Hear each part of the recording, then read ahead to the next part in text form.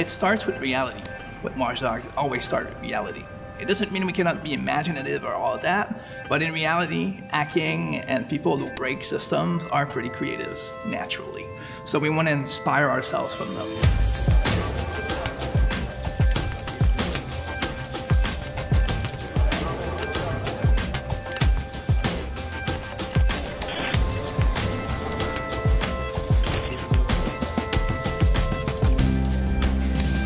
This is a big moment for us in production. Basically, all the parts of the game are colliding together for the first time. And for the past months, we've been able to play the game from beginning to end. So now we see how things are coming together, and you could almost say the game has a life of its own at this point. When you finish a game after almost five years, you, you need to sleep on it a little bit.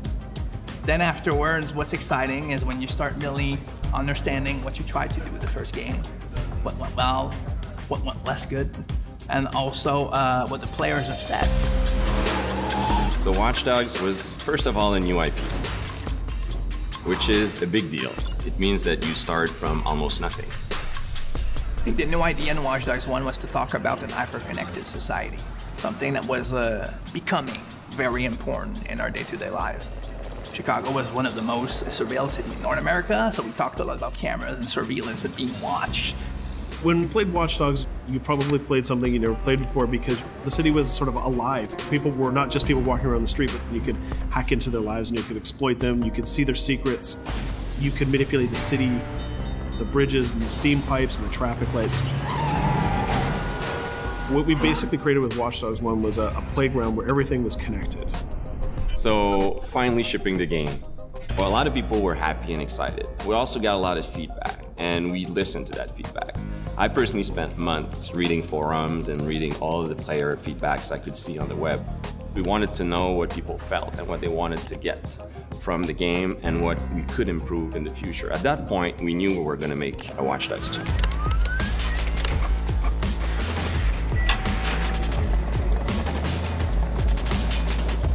We felt like we really did a big milestone with the original Watch Dogs. But with Watch Dogs 2, we could really deliver on the fantasy of being a hacker.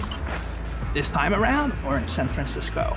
For us, San Francisco struck the chord because it meant the very birth of the attitude of a hacker.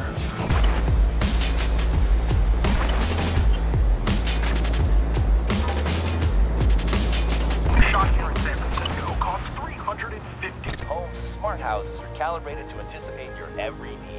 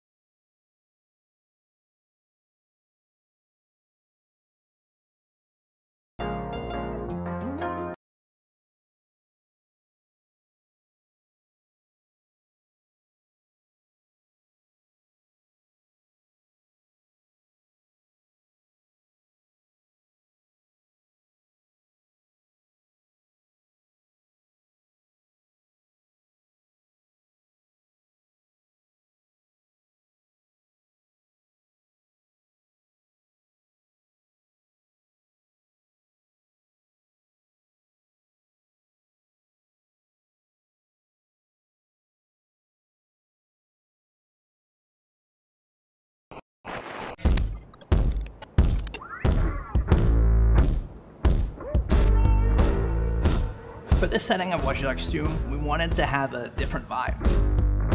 So our San Francisco keeps all the important parts of the Bay Area. And there's a different feel, different vibe, a different look to all of the areas of our world. We wanted to kind of represent all these different areas and the different collections of people that live in these areas and what their lifestyles and their personalities are like. So we're building a game where basically it's almost a simulation. You're in that world, and if you stop moving and you look around, you feel the world is alive, right? This is the promise of what an open world game is. We broke the feeling that the world is centered on you, the player. So characters shouldn't only react to you, they should react to each other. You know, maybe people start fights. Maybe someone calls the cops on someone else than you. Maybe a dog barks after someone else and chases him down the street. You need to feel as if this city is alive, even if you do nothing. And then if you start doing things, if you start playing in the world, the city should react to what you're doing. It should feel normal. It should surprise you also in how it reacts. We were really interested in the city itself. It almost feels like the Wild West of technology. And how would, you know, how couldn't you set something in the Wild West of technology? It's a world that has a lot of potential for gameplay. I mean, if you're a hacker and you go in Silicon Valley and you have the head office of some of the biggest tech company in the world, what will you do? Can you hack into those places? What will you find? So it's a very intriguing setting for a hacker who's exploring the world. So as we're crafting this world, we're putting in it all of the factions that should be in it. So for example, we have various criminal groups trying to fight over the underground of the city. We also have corporations trying to make money and potentially even manipulate people and society. And we also have other groups of hackers trying to tap into the technology that has been set up in the city once again, CTOS, the smart city system that was in the first Watch Dogs, is installed in San Francisco, and various people are trying to tap into it to exercise control, power, or to try to make money. In creating a hero for Watch Dogs 2, we wanted somebody new, somebody that could embody uh, the spirit of California and the spirit of San Francisco. But we needed somebody who was going to be really worthy of all the cool stuff that we wanted to do in the game. So, our hero in Watch Dogs 2 is Marcus Holloway. He's a young hacker, very brilliant in what he does because of the injustices that he's seen, both being from Oakland and also having been profiled the wrong way and being accused of a crime he actually didn't commit. That sort of made him go against the system.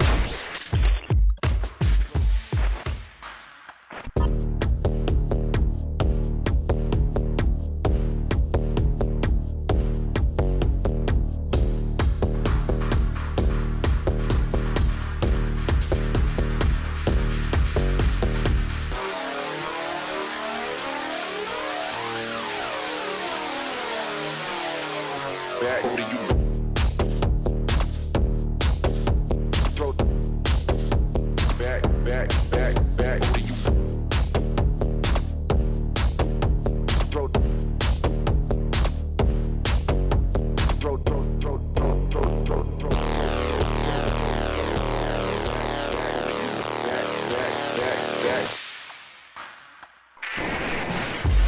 In terms of visual, we always try to create uh, iconic attributes to the character so that he can be memorable and people wants to play him, but still feels credible inside our world. He's a perfect blend between somebody that's tech savvy, that represents a little bit the internet culture, but also has uh, that, that athletic and rebellious feeling to him.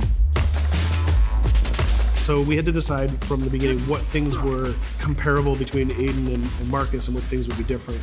We focused on parkour. We wanted Marcus to be a lot better at parkour than Aiden.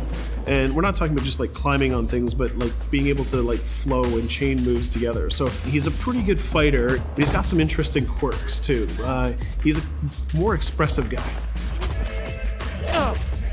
We- tried, really tried hard to figure out what kind of melee weapon Marcus we had. We tried a whole bunch of things, and some things were pretty cool, and some things just didn't work at all. We did a lot of research, and we, we basically did what Marcus would have done. We went onto the internet and we started watching videos and started reading websites and trying to figure out what kind of stuff we could make. Pre- pretty much all the stuff that you probably shouldn't search at work. In the end, what we stumbled across was this idea of taking a billiard ball and attaching it to a paracord lanyard. And we took this and we handed this to the stunt team. And the first thing that we saw was it was fast. It was so fast, like we couldn't believe how fast they were swinging this around their body. And I, as soon as I saw this video, I'm like, this is crazy. We, we got it.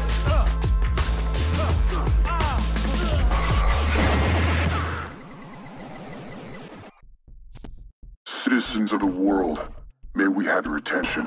When we say we want to make a game about hacking, really a hacker, it's a culture, but you can have various motivations. The motivation we're excited about was what we call hacktivism people who want to impact society and have ideals to defend. So, just in the background and in of it, you're not a hacker in Watch Dogs 2. You're a DedSec hacker. You're a member of a community. And you're doing grand stuff and big exposure of important information to society because you're not alone and you're working with other people. The first thing that you have to do when you're talking about hackers is you kind of have to respect where they came from originally. Their messages sound very serious, but there's also a lousy element to it, the way they have fun with what they're saying. We took that and we said, okay, so what if this is the sort of the spirit of DedSec and of our heroes? What if their spirit is still rooted in the trolling? It's a joke, we're going to have fun with it, but they still have something important to say. The DedSec visual was really important for me because it represents everything that's cool about Watch Dogs. It's stylized, it's edgy, and it's raw, and it's underground, uh, tapping into the horror genre, uh, tapping into the internet culture with all the memes, and also all the visual language of the internet. So there are various characters, various people inside of DedSec. Some are a bit more violent, some have more ideals, some are maybe more intellectual. But they all have in common that they want to fight to preserve a sense of freedom. They don't want people to abuse tech to take control over people. But you know, I'm not saying they are uh, knights. You know, they are they are rebellious. They they do their own things, their own way, and they want to have fun. That's that's also one thing. Is you know a sense of freedom, also a sense of fun through that group.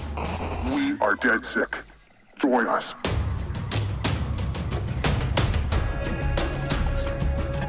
The new idea for hacking in Watch Dogs 2 is to let the player uh, create his own solutions. We're adding a lot more depth to hacking. So you have a lot more control, a lot more flexibility in how you hack the world.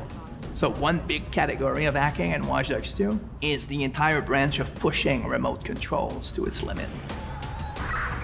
One of the big things on Watch Dogs is hacking vehicles. I think this is a real game changer because vehicles are everywhere in the world, and if you can hack into the drive system of a car, you can pretty much drive it wherever you want. So making sure if you see a forklift in the world, it shouldn't be a forklift. You can just like move the box up down. You should just like a camera, press a button and become that thing. One of the core things that we're doing is we're opening up the game with Watch Dogs 2. You can hack every character. You can hack every car in the game. And you can hack most of the electronics within the city. So that's a lot of potential targets for hacking. And that's not even counting your own tools. Well, in Watch Dogs 2, we brought in a lot more toys and things to play with because we wanted to embrace the maker culture. DedSec have these really interesting, intricate guns. They're built on a 3D printer.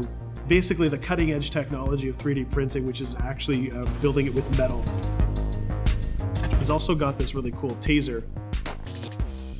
So if you want to play the game completely non-lethal and not actually kill anybody, you can totally do that. We're playing with a lot more uh, crafted items and a, a lot more of little devices that you can use. One of the things that people kind of like that we've done, they really like what we've done, is we've created toys for Marcus. He has an RC jumper. It's got little wheels, and it's even got this little robotic arm that he can sort of deploy, and he can interact with things. He can unplug things and replug them and take out screws. It's a neat little toy. And then the other gadget he's got is this quadcopter. And it's more about scouting and being the eye in the sky. First person view on it is incredible because you're just zipping through the city. It feels like you're flying. Well, you are flying. Another branch, which is kind of connected to it, is the concept of manipulating people. In Watch Dogs 1, you could only hack the people that were marked as potential target. Now, you can target the person you want, and you can hack them in multiple ways. For example, I could hack one person and distract them, have their phone ringing so they look at their phone uh, to create a distraction. Later on in the game, you'll also be able to do things we call mass hacking, which is, well, why only hack one if you can hack them all? There's one thing that I really believe about Watch Dogs players is that there is no Watch Dogs player. There are many types of Watch Dogs players. You should be deciding how you want to play the game. So that means you can play a mission full gun blazing, that's the way you like to play, it. full stealth, or through hacking only, project yourself in computers, take control of electronics, influence people, and try to get to your goal that way. We try to really support all players' types across all different styles of play and also allow players to combine and mash these styles and play together too. If you've been playing a certain way for a while, we want the game to kind of challenge you to try different things, but also not force you into playing the game a certain way. We work to improve the driving, make it more accessible while keeping all the different styles of vehicles and adding a lot of physics and feel to all the vehicles. So we keep the depth but have more accessibility. The team was super happy with the result we've had, and I hope gamers will be just as excited.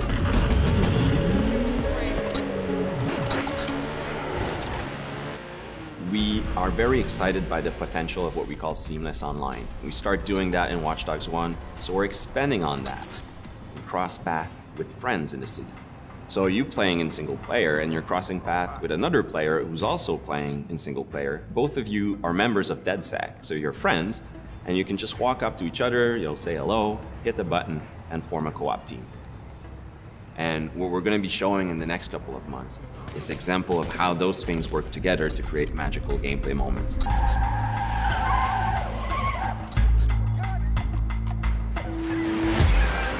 The city of San Francisco and the whole Bay Area is exciting. It's vast. You're going to find a, a ton of things to do that are unique to you. Basically, build your own moments. You know, create a situation that you start laughing at and you say, wow, this happened, and you want to share it with friends. You don't want it just to be like a roller coaster or a theme park ride where I go through all the same beats as everybody else.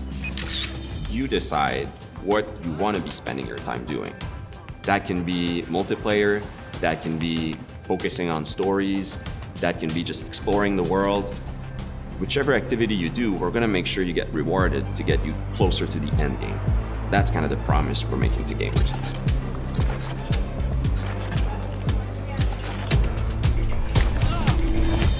You, you always know it when something starts to click, it starts to work. Everything changes. You stop seeing individual components, animations, or, or texture maps, or vehicles. You just start to see the experience as a whole. It changes on the floor. People get excited about it. This is it. It exists. We are always making the game with the player in mind. They have always been the driving force.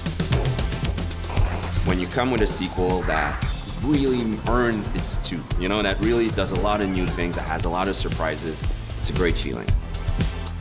In the end, there's nothing more accurate than this. Looking at something, trying to understand it. Solely for up with the system.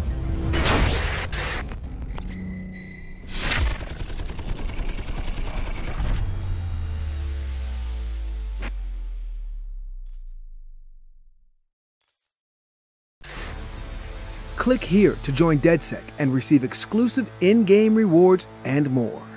Subscribe to our YouTube channel and be the first to see new trailers and behind-the-scenes action.